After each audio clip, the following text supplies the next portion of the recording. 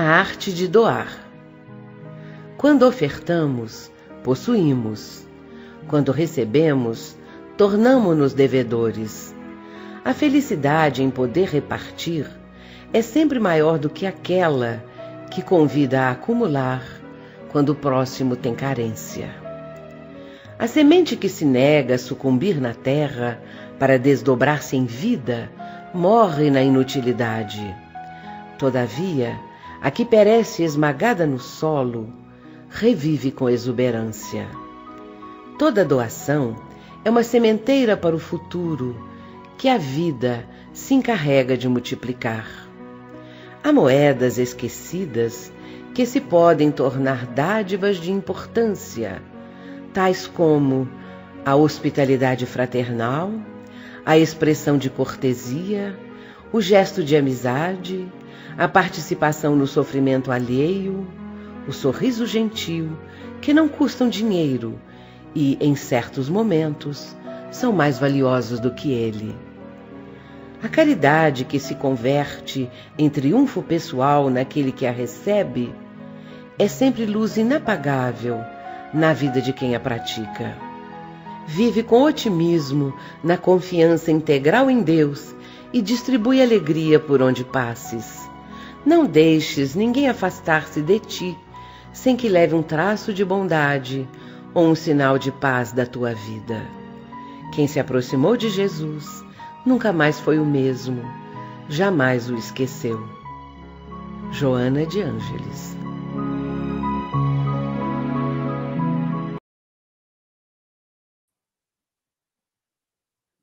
Olá, boa noite a todos.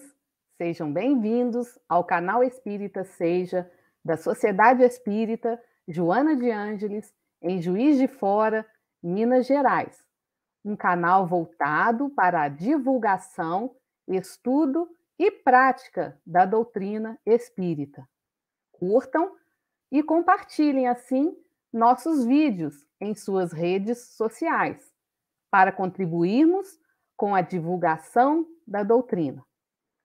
E nesta noite, temos a grande satisfação de recebermos em nossa casa a querida Consolação Moanes com o tema A Cólera. Boa noite, Consolação. Boa noite, Edilene. Boa noite a todos os amigos que estão conosco nesses momentos de reflexão em torno do Evangelho de Jesus à luz da doutrina espírita. Que a paz de Jesus envolva todos nós. Muito obrigada, Edilene.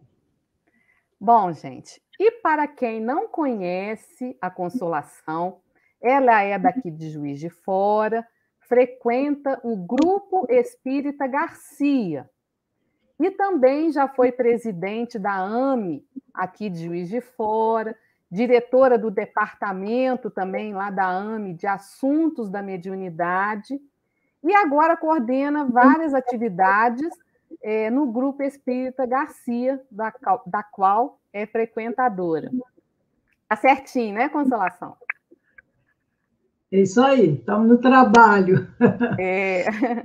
Bom, gente, então nós vamos começar a palestra e antes fazermos a nossa prece inicial, elevando os nossos corações ao querido Mestre Jesus, que a toda hora nos consola, nos fortalece e nos ampara. Pedimos que ampare também a toda a nossa população, a toda a humanidade que passa por momentos de provação, e ampare-nos, Senhor, com a sua bênção e a sua consolação. Vamos agora elevarmos o pensamento até Ele, pedir para que Ele nos oriente nos estudos de hoje. Ilumine também a nossa ilustre palestrante.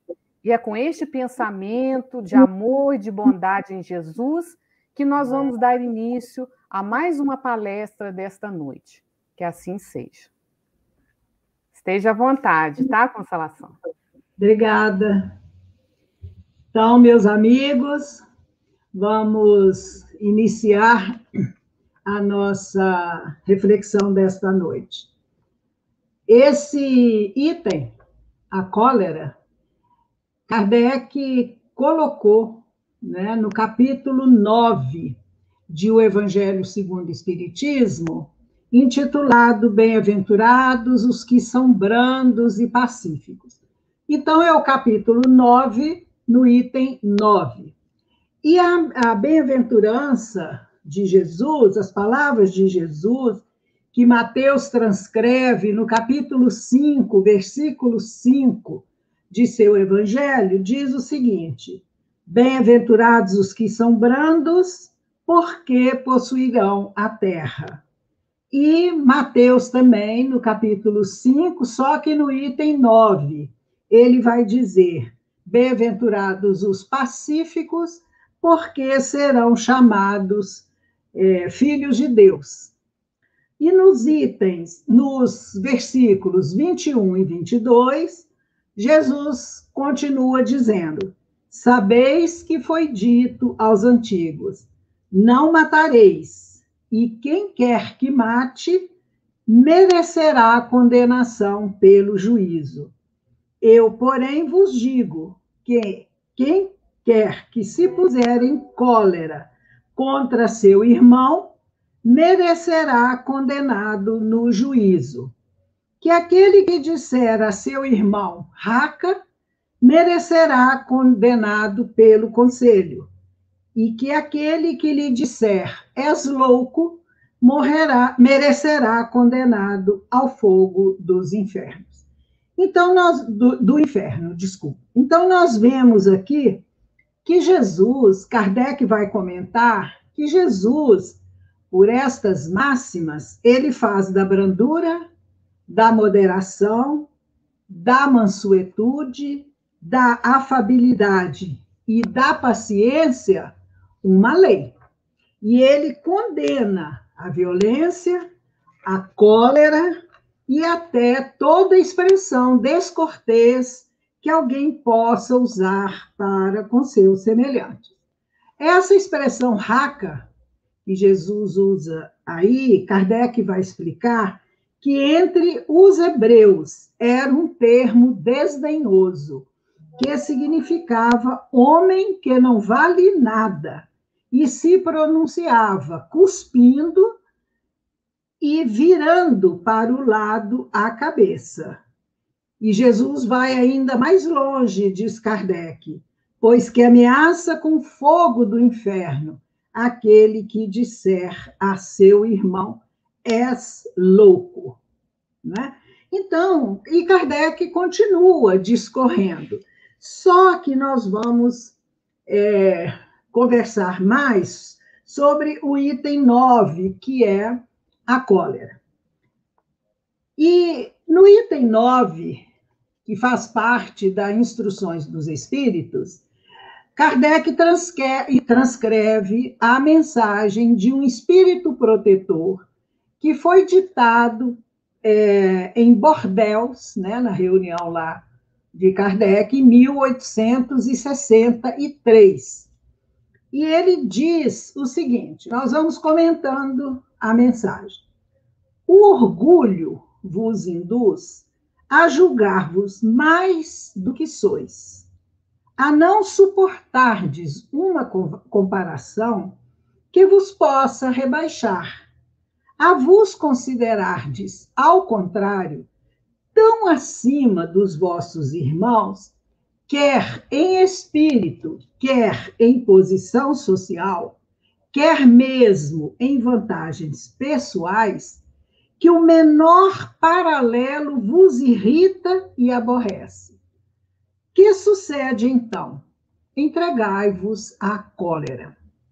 Então, é, o, o espírito protetor está dizendo aqui que o orgulho não é, é que nos leva a discordarmos de qualquer opinião contrária à nossa, por acharmos que somos superiores em todos os aspectos, não é? E então nós nos entregamos à cólera.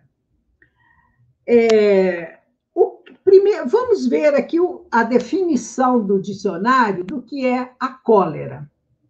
A cólera significa ira, braveza, fúria. É o temperamento feroz dos animais. É o instinto selvagem de, demonstrado por alguns animais. Então, nós estamos vendo aqui que a cólera é um instinto bem primitivo. É, a ira, né, que a cólera é sinônimo de ira, está nas, na lista de um dos sete, chamados sete pecados capitais pela Igreja Católica. E a cólera é, é uma força desintegradora.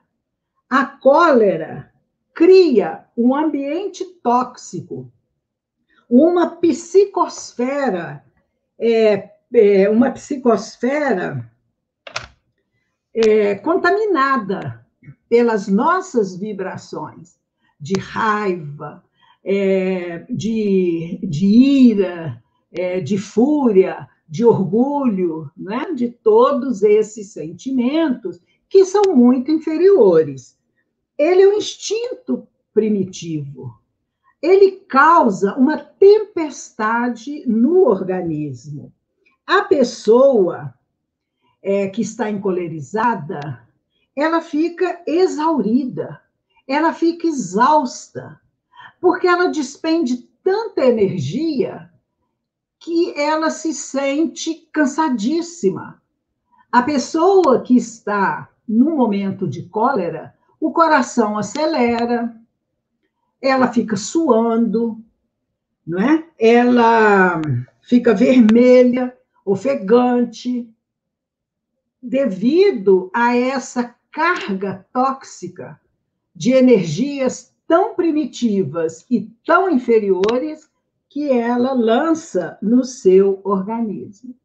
Então, ela é, é, contamina a, a, aquele que está nesse é, momento de cólera e todo o ambiente. Então, contamina as pessoas que estão ali, que se não ficarem vigilantes, essas pessoas entram na sintonia desse que está encolerizado.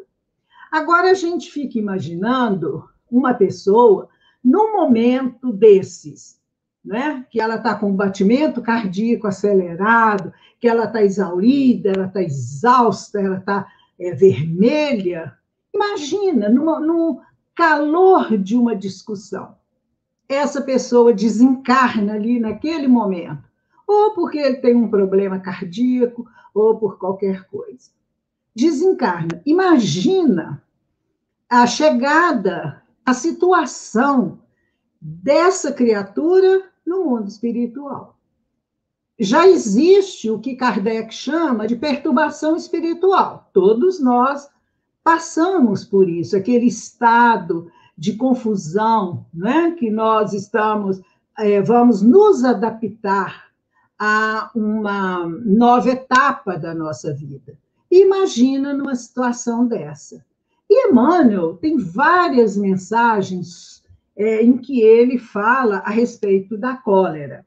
E ele olha, olha os sinônimos, as definições que Emmanuel dá para a cólera. Ele diz: força descontrolada, precipitação em doença, acesso de loucura, queda em desequilíbrio, tomada mental para a obsessão, impulso à desencarnação prematura, perigo de criminalidade, introdução à culpa. Descida ao remorso, explosão de orgulho, tempestade magnética, fogo mental, pancadaria vibratória, desagregação de energias. E, por último, Emmanuel diz: perda de tempo. Então, a cólera tem como consequência a violência. Quantas pessoas que dizem assim: eu não levo desaforo para casa, e revidam, e é, são agressivas, e atacam o outro. As prisões estão repletas de irmãos nossos que não levaram desaforo para casa. Então, esses sentimentos inferiores, é, que, que fazem parte ainda do nosso íntimo, precisam ser é, controlados e precisam ser extirpados de nós. O espírito Joana de Ângeles, no livro Jesus e Atualidade, na mensagem que se intitula Jesus e Ingratidão, Joana diz que nós, criaturas divinas, que trazemos em nós o germe da divindade, que nós deveríamos exteriorizar de nós apenas sentimentos elevados, sentimentos de amor, sentimentos de paz, sentimentos de gratidão, sentimentos de bondade, no esforço de, de adquirir esses sentimentos em nossa caminhada e vivenciá-los. Mas como nós ainda estamos num degrau evolutivo é, é, muito inferior, né? Nós temos essas dificuldades. Então, o que, que nós exteriorizamos de nós? Diz a benfeitora nós exteriorizamos o nosso espírito belicoso, nós exteriorizamos raiva, agressividade, inveja, desamor, todos esses sentimentos inferiores que habitam em nós. Então, nós precisamos, é, é, de alguma forma, encontrar um caminho para que nós possamos combater esses sentimentos em nós. E continuando a mensagem do Evangelho do Espírito Protetor, é, ele vai dizer: pesquisai a origem desses acessos de demência passageira que vos assemelham ao bruto, fazendo-vos perder o sangue frio e a razão. Pesquisai, e quase sempre deparareis com orgulho ferido, que é o que vos faz repelir coléricos os mais ponderados conselhos, senão o orgulho ferido por uma contradição, até mesmo as impaciências que se originam de contrariedades, muitas vezes infantis, pueris, decorrem da importância que cada um liga à sua personalidade, diante da qual entende que todos se devem dobrar. Então, mais uma vez aqui, o espírito protetor está nos dizendo que o orgulho ferido está na base desses descontroles é, eles são resultado, ele, ele é, acarreta resultados danosos para a nossa saúde, para o nosso psiquismo, para o nosso estado mental. E ele continua: em seu frenesi, o homem colérico a tudo se atira, à natureza bruta, aos objetos inanimados, quebrando-os porque lhe não obedecem. Ah, se nesses momentos pudesse ele observar-se a sangue frio, ou teria medo de si próprio, ou bem ridículo se acharia. Imagine ele por aí, que impressão produzirá nos outros, quando não fosse pelo respeito que deve a si mesmo, cumpria-lhe esforçar-se por vencer um pendor que o torna objeto de piedade. Então, nós vemos, sim, pessoas que é, quebram objetos, que chutam as coisas. Eu me lembro de um caso de uma senhora, uma mãe, que estava, que contou que ela tinha um filho adolescente. E esse filho, qualquer aborrecimento, qualquer coisa que o contrariasse, ele saía furioso, entrava no quarto, batia a porta do quarto com toda a violência. E ela, com muita paciência com ele, e ela dizia: não faça isso, e conversava, e tentava é, é, levá-lo a domar essa, essa é, violência que ele possuía, essa agressividade, nesses momentos de cólera. Mas ela não conseguia. Um dia, ele bateu a porta com muita violência e ela falou com ele: Uma hora, eu já te falei para você não fazer isso. Você vai se arrepender amargamente a próxima vez que você bater essa porta. O rapaz entrou para o quarto, não disse nada. Da próxima, uns dias, outro aborrecimento, ele bateu a porta com maior violência. Quando ele foi para a escola, para o colégio, a mãe ligou para o marceneiro, chamou o marceneiro e disse ao marceneiro que tirasse aquela porta e guardasse lá na oficina dele. Quando o filho chegou, que foi entrar no quarto, espantou, não tinha porta. Aí ele falou com a mãe: Ué, cadê a porta do meu quarto? Ela falou: Ah, eu te disse para você não bater a porta. Você não me ouviu. Agora você vai ficar uns tempos sem a porta do quarto. Ah, porque vai tirar a minha privacidade, porque isso ela falou: não tem importância. Você vai ficar sem a porta durante uns tempos, para você não bater mais essa porta. E deixou lá uns dez dias o rapaz sem porta no quarto. Ele se sentiu muito mal, claro, né? Passado esse tempo, ela chamou o, o marceneiro e mandou colocar a porta. E nunca mais ele bateu a porta do quarto. Então, ela não foi agressiva, ela não fez isso com raiva, ela educou o filho e cortou, né, podou essa má inclinação dele, é, que daria como consequência a violência. E eu me lembro também de um caso muito engraçado do Haroldo Dutra, que ele conta nas palestras dele, que ele estava no trânsito em Belo Horizonte com o filho e, de repente, uma pessoa num carro fechou o carro dele.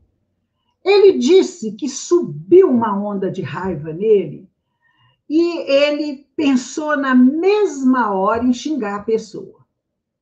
Aí ele emparelhou com o carro mais na frente, foi abrindo o vidro e ele disse que sentiu aflorar em seu íntimo todo aquele instinto lá das existências lá para trás.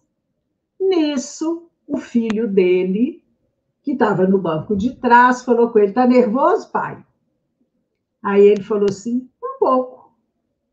Aí o filho falou assim: Você vai xingar o moço? Ele falou assim: Estou pensando, abrindo o vidro. E aí o filho disse para ele: e se for alguém que assiste às suas palestras? Ele disse que esteve, sentiu assim uma ducha de água gelada. E ele fechou o vidro, não disse nada e seguiu o caminho. Então a gente nota, né, é que Deus nosso anjo de guarda, nos alerta. Aí para o Haroldo foi do filho, que foi mais racional, foi mais é, sereno e tranquilo do que ele, e chamou a atenção dele. Porque só Deus sabe o que, que poderia ter acontecido. Você não sabe se o, o, a pessoa do outro carro está armada, se ele é agressivo, se ele é violento. e isso podia terminar numa grande tragédia. Né?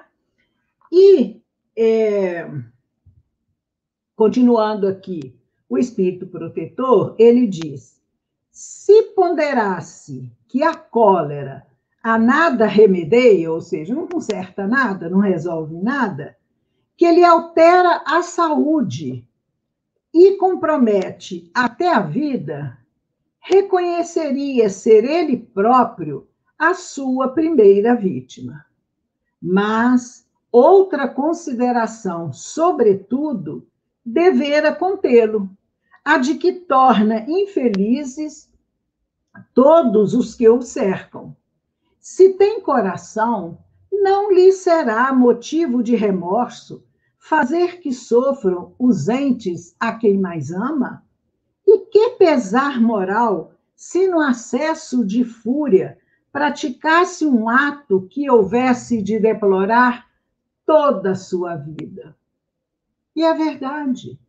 Quantas pessoas tiram a vida do seu semelhante num acesso de cólera, num acesso de fúria, e se arrepende amargamente para o resto da vida, trazendo um remorso, uma culpa de uma, um ato, de uma ação que ele não queria ter praticado, não é?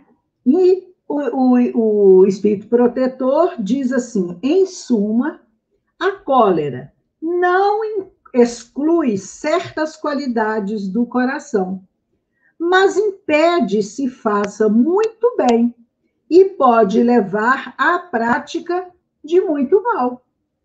Isto deve bastar para induzir o homem a esforçar-se pela dominar. O espírita, ao demais, é concitado a isto por outro motivo, o de que a cólera é contrária à caridade e à humildade cristãs. Jesus advertiu: bem-aventurados os brandos, os mansos, os pacíficos. E no Evangelho, nós encontramos o episódio da prisão de Jesus, né? Quando os soldados vieram prender Jesus e Pedro, num momento é, de desequilíbrio, de invigilância, tentando proteger o mestre, impedir que Jesus fosse preso, Pedro toma da espada é, e corta a orelha do soldado Malco. E Jesus o adverte: Pedro, embainha a tua espada. Aquele que com a espada fere, com a espada será ferido. E nós temos uma lei de ação e reação. Então, a, as advertências de Jesus são muito é, graves, são muito profundas e muito sérias nesse ponto. No belo livro Paulo Estevão, esse romance extraordinário de Emmanuel, aliás, quem não conhece os cinco romances de Emmanuel, precisa ler e conhecer, que são há dois mil anos, 50 anos depois, Paulo Estevão, Ave Cristo e Renúncia. São livros extraordinários. Que quantas vezes nós lemos esses, esses livros, nós descobrimos lições muito preciosas e nós nos emocionamos até as lágrimas. E no livro Paulo Estevão, é, quando Paulo é, foi estava na prisão aguardando para ser decapitado, né, por ordem de Tigelino, que era lá o, um, um imperador muito é, cruel, né? ele, Nero, e o soldado é, vai até a prisão, numa cela úmida, fria, escura, uma cela minúscula onde Paulo achava-se preso, prisioneiro. E eles mandam, e o soldado entra, o comandante, entra na cela e ordena a Paulo que ele saia. E Paulo sai da cela. E eles amarram os punhos de Paulo, os pulsos, né? Amarram. E Paulo se depara com seis guardas. E a gente fica imaginando seis guardas armados para prenderem um homem idoso, fraco, magro, um homem que era pacífico, um homem cujo crime foi é, difundir o amor, difundir o evangelho de Jesus, que foi curar as pessoas, que foi somente fazer o bem. E esse, esses guardas vão levando Paulo, param e dizem a ele: conta 20 passos. E ele conta, vai contando, 20 passos até ele chegar no, no local, no vigésimo passo, em que ele seria decapitado. E o soldado, não satisfeito com o que iria acontecer, ele escarra no rosto de Paulo. E Paulo, diante daquela violência gratuita, Paulo apenas limpa o rosto e não diz nada. Paulo não esboça nenhum olhar de condenação, de raiva, de violência, de cólera contra aquele soldado. E eles, então, cumprem a missão dele. Leiam lá, belíssimo, é, no Paulo Estevão, né? E eles cortam a cabeça de Paulo e vão embora, sem nem olhar para trás para ver a tragédia, o desastre, a cena dantesca que eles haviam proporcionado ali. Então, um exemplo de uma pessoa que é mansa e pacífica. Uma pessoa que, um espírito, que absorveu o ensinamento de Jesus e que havia adotado a mansuetude porque a mansuetude é o contrário, é o antônimo né, da cólera, da violência da cólera. É a pessoa ser branda e ser pacífica. E outros exemplos nós temos na história, como Gandhi, como Martin Luther King e tantos e tantos outros, que foram os pacíficos e pacificadores que foram ofendidos, que foram é, espezinhados, caluniados, maltratados, e que não revidaram. Os, os cristãos que eram levados para o circo para serem devorados pelas feras, eles não esboçavam nenhum gesto de cólera, contra os seus carrascos.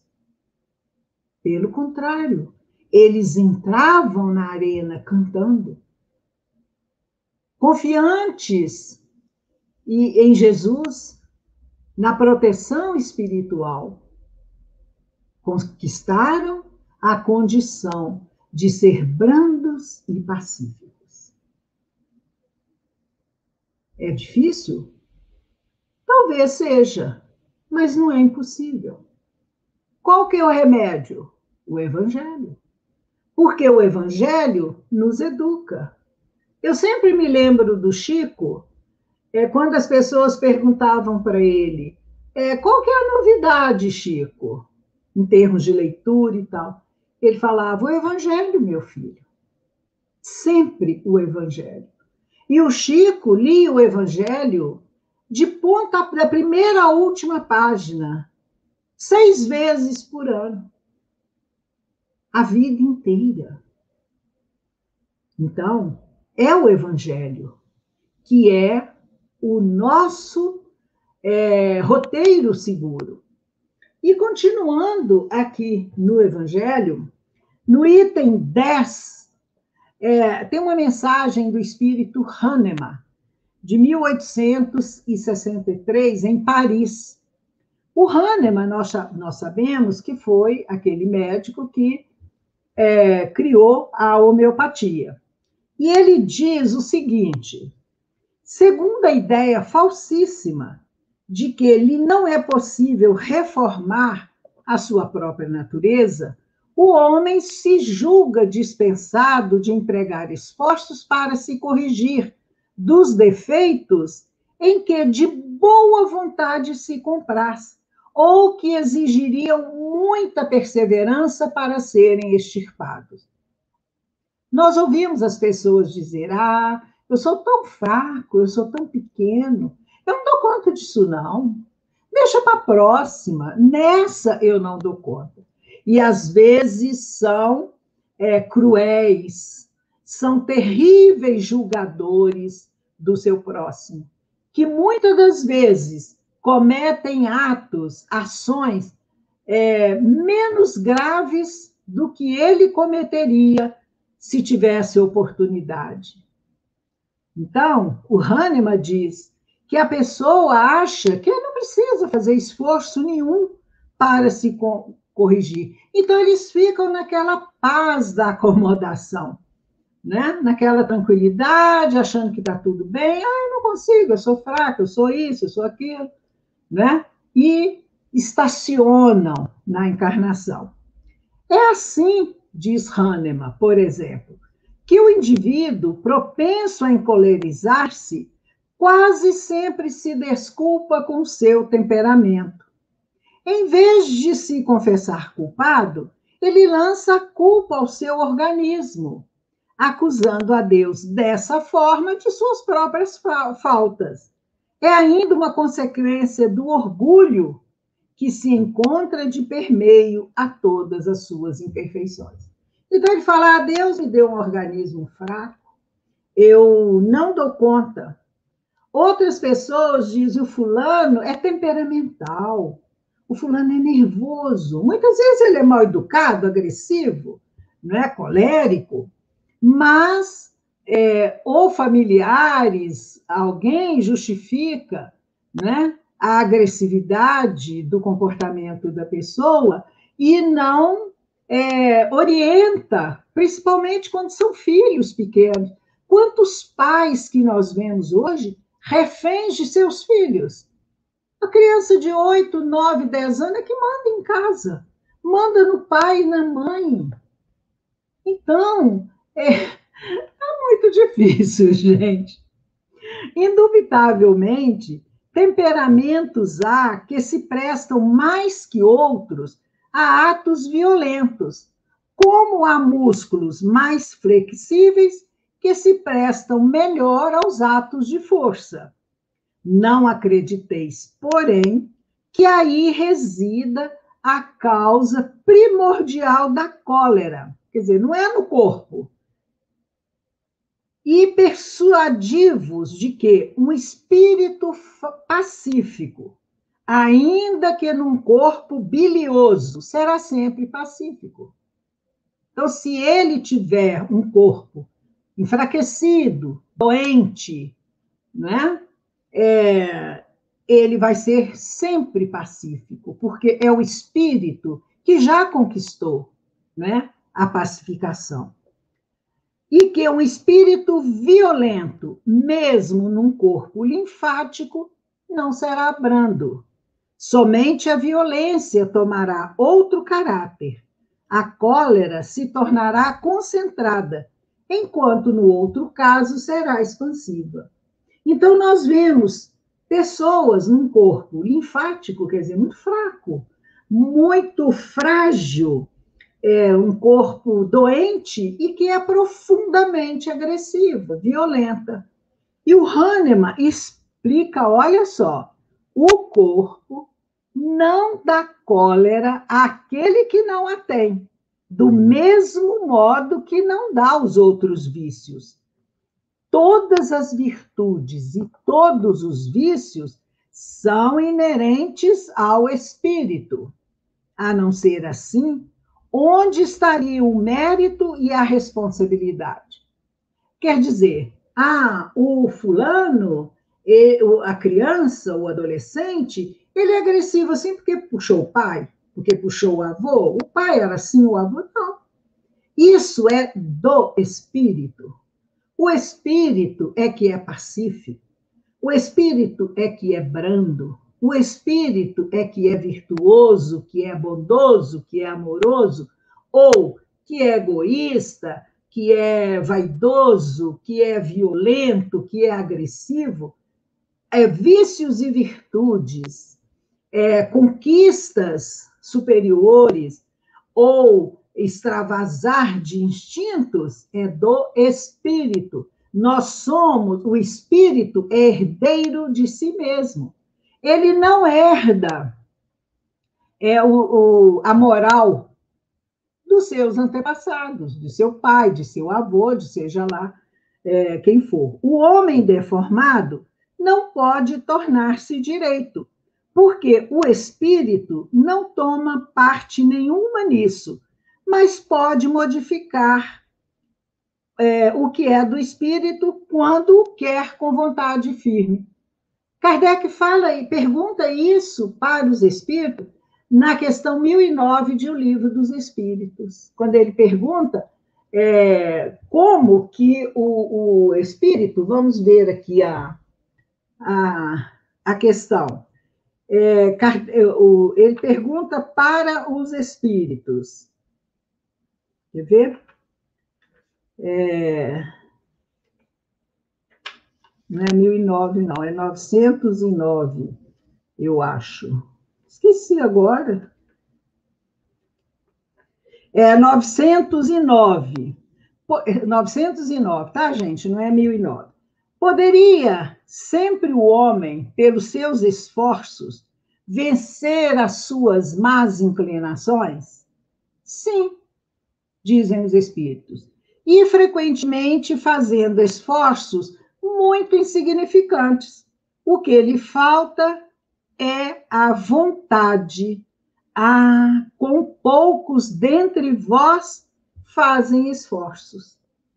Então, é, os espíritos superiores da falange, né, do espírito de verdade, ele vai dizer aqui que nós conseguimos vencer o homem, né, todos nós, conseguimos vencer as nossas más inclinações fazendo esforços muito insignificantes. Mas o que falta é a vontade. A vontade, gente, é a alavanca que move a nossa vida. No livro Pensamento e Vida, um livro precioso, Emmanuel tem um capítulo que se chama A Vontade. E ele divide né, a nossa mente como se fosse um gabinete uma, de administração uma repartição. É, e a, o gabinete, com vários gabinetes, o gabinete da vontade é o que comanda tudo. Então, é, esse, essa força, essa alavanca que nós possuímos da vontade e que nós acionamos pouco. Então, se nós, aí na outra pergunta, é, Kardec pergunta assim: pode o homem achar nos espíritos eficaz assistência para triunfar de suas paixões? E eles respondem: se o pedir a Deus e ao seu bom anjo, com sinceridade, os bons espíritos lhe virão certamente em auxílio, porquanto é essa a missão deles. Então, junta a nossa força de vontade com o, o auxílio, com a assistência de Deus, dos bons espíritos, nós conseguimos vencer as nossas más inclinações. No livro O Céu e o Inferno, quando Kardec é, vai falar sobre o Código Penal da Vida Futura, ele diz num dos artigos, que quando nós temos dez defeitos e conseguimos consertar um numa existência, já fizemos progresso. Deus, Jesus, não nos pede uma tarefa grandiosa. Ele nos pede pequenas coisas, porque eles sabem da nossa pequenez, da nossa dificuldade. Então, gente, depende de nós, os bons espíritos nos assessoram e nos auxiliam. E o Hahnemann vai, vai encerrar dizendo que não vos mostra a experiência, a vós espíritas, até onde é capaz de ir o poder da vontade, pelas transformações verdadeiramente miraculosas que se operam sob as vossas vistas, compenetrai-vos, pois, de que o homem não se conserva vicioso, senão porque ele quer permanecer vicioso de que aquele que queira corrigir-se sempre o pode. De outro modo, não existiria para o homem a lei do progresso. Então, se nós acionarmos a nossa vontade, fizermos uma prece sincera, pedindo ao nosso anjo de guarda, pedindo a Deus, pedindo a Jesus que nos auxilie para nós domarmos as nossas más inclinações, nós vamos conseguir. A prece sincera que brota do nosso coração, com o vigiar e orai que Jesus nos ensinou, nós conseguimos grandes coisas. Jesus falou: se tiveres fé do tamanho de um grão de mostarda, Diz a, este, a esta, a essa montanha, reda-te daqui para ali. E nós temos, vamos dizer assim, montanhas de conflitos, de, de empeços, de empecilhos, de dificuldades em nosso íntimo.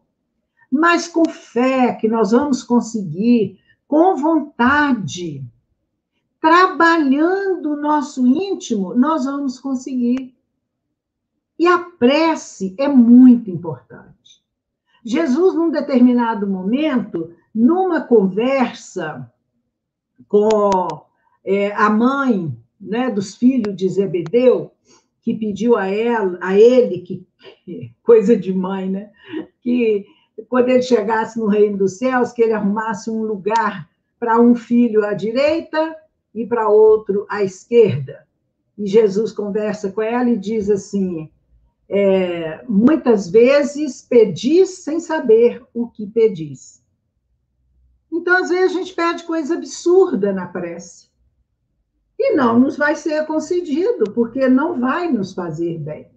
Mas se nós pedirmos força e coragem para domar as nossas más inclinações, nós vamos conseguir.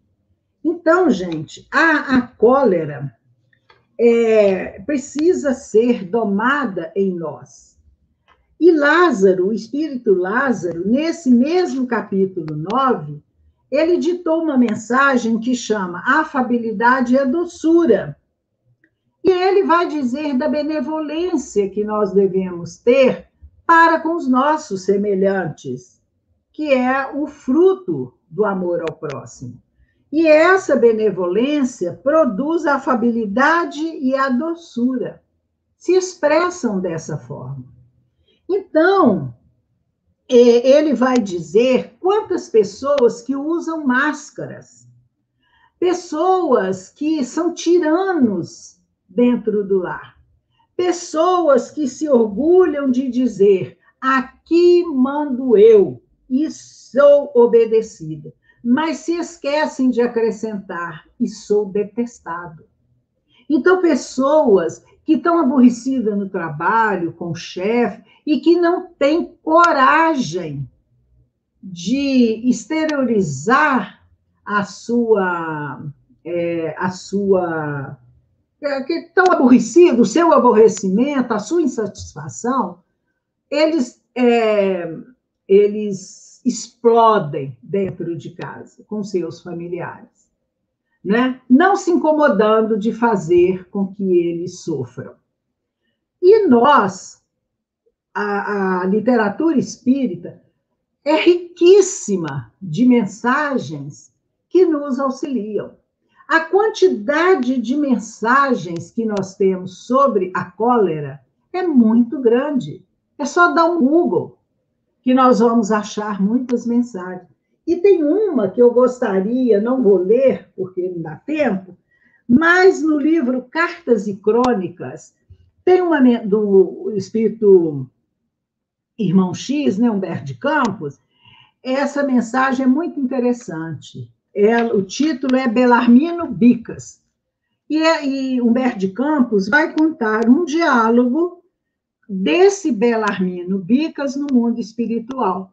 Ele diz que desencarnou com 58 anos de idade, sendo que 20 anos desses 50 anos ele era espírita. E ele, aos 30 e, e, e 8 anos, né? E ele sempre fora irracível por temperamento.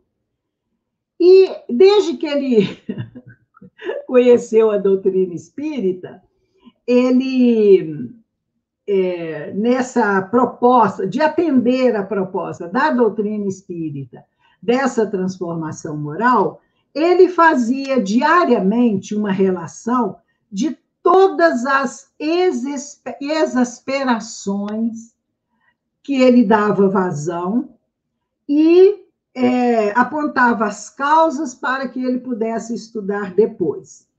Os meus desconchavos, diz ele, foram tanta, tantos que, apesar dos nobres conhecimentos assimilados, ele suprimiu inconscientemente 22 anos da cota de anos que ele deveria viver aqui na Terra, que seriam 80, e regressou à pátria espiritual na condição de suicida indireto.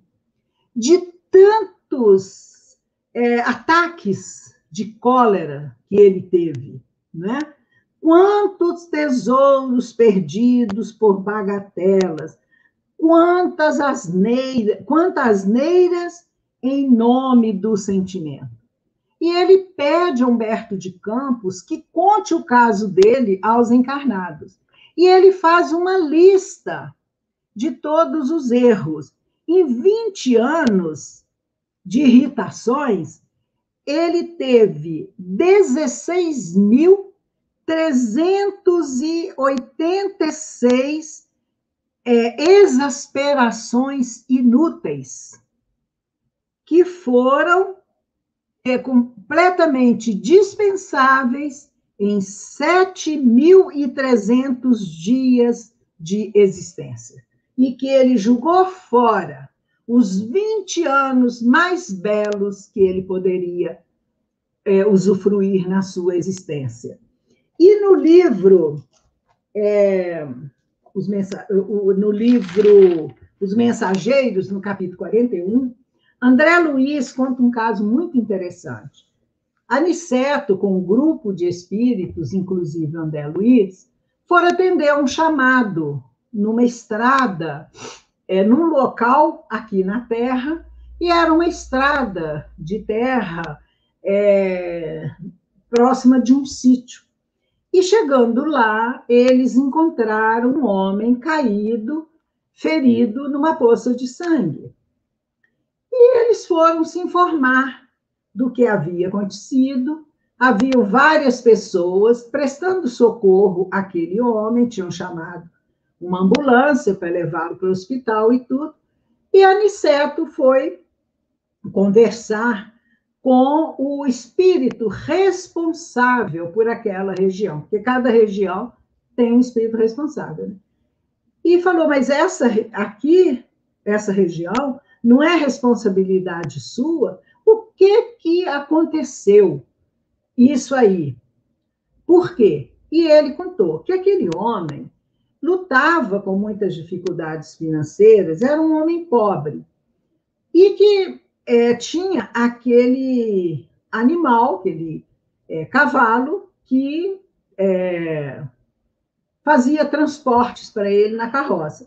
Mas ele sempre fora muito agressivo, muito colérico, muito violento.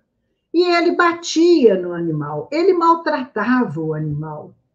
E naquele dia fora tal a agressividade dele, a cólera, o ódio que ele exteriorizou dele, que desestruturou, atingiu o animal e o animal revidou com um coice e o feriu gravemente.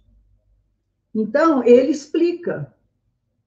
E, e, no livro Entre a Terra e o Céu, a irmã Clara também vai explicar que é, o que, que acontece né, com a nossa voz, com a tonalidade da nossa voz quando nós estamos num momento de fúria, de cólera. Como que nós, as vibrações da nossa voz atingem o outro, os animais, o ambiente, tudo que nós já falamos antes, não é? E é, provocando é, situações terríveis de dor e de sofrimento. Então, gente, o, lembrando da importância do nosso tom de voz, fala com brandura. Nós precisamos falar com brandura com os idosos, que nós não sabemos quanto tempo eles ainda vão ficar junto de nós. Nós precisamos falar com brandura com as crianças, com os jovens. Precisamos falar com brandura com as pessoas que às vezes não são brandas conosco. E a brandura deve estar sempre presente em nossas vidas. E o Evangelho é o nosso roteiro. E eu gostaria de encerrar com uma pequena mensagem do Emmanuel, que está nesse livro, O Espírito da Verdade, de psicografia do Chico e do Valdo, não para cá, é, do Espíritos Diversos, que ele comenta vários itens do Evangelho. E essa mensagem número 45 se chama Cólera. E Emmanuel diz: não, não é Emmanuel, desculpa, é André Luiz. É André Luiz, não é Emmanuel. André Luiz que diz assim: a cólera apresenta dez negativas complexas que induzem a melhor das criaturas à pior das frustrações. Primeiro, não resolve, agrava. Segundo, não resgata, complica. Terceiro, não ilumina, escurece. Quatro, não reúne, separa. Quinto, não ajuda, prejudica. Seis, não equilibra, desajusta. Sete, não reconforta, envenena. Oito, não favorece, dificulta. Nove, não abençoa, maldiz. Dez, não edifica, destrói. Evite a cólera, como quem foge ao contato destruidor de alta tensão. Mas se você amanhece de mau humor, antes que o flagelo se instale de todo na sua cabeça e na sua voz, comece o dia rogando a divina bondade, o socorro providencial de uma laringite. Que nós não precisemos, né, rogar o socorro da laringite, que antes disso nós possamos vivenciar o evangelho em nosso dia a dia, né? levando paz, levando vibração de amor, levando ternura, brandura a todos os nossos irmãos e humanidade.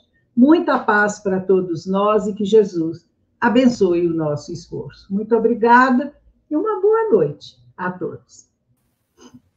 Obrigada a você, Consolação, por tantos ensinamentos, tá? É, aprendemos um pouquinho mais, mais, e a gente sabe, né, que é, nós temos a todo momento que controlar os nossos impulsos, né, as nossas más tendências, né? Então, adorei essa última frase sua aí, que você tirou do André Luiz. André Luiz, né? É André Luiz. Muito obrigada por a consolação. E gratidão mesmo por tantos ensinamentos. E antes de terminar, eu queria convidá-los também para a semana que vem. Nós vamos ter a palestra sexta-feira com Jorge Elahá, com o tema Família e Reencontro. Também muito interessante, né? Nós estamos no mês da família, que é em agosto, e nós esperamos a participação de todos vocês mais uma vez. E gratidão, tá, Consolação, por tantos ensinamentos. Muito obrigada. Obrigada. A partir de agora, nós vamos tentar nos controlar um pouquinho mais, né? evitar atritos desnecessários, né?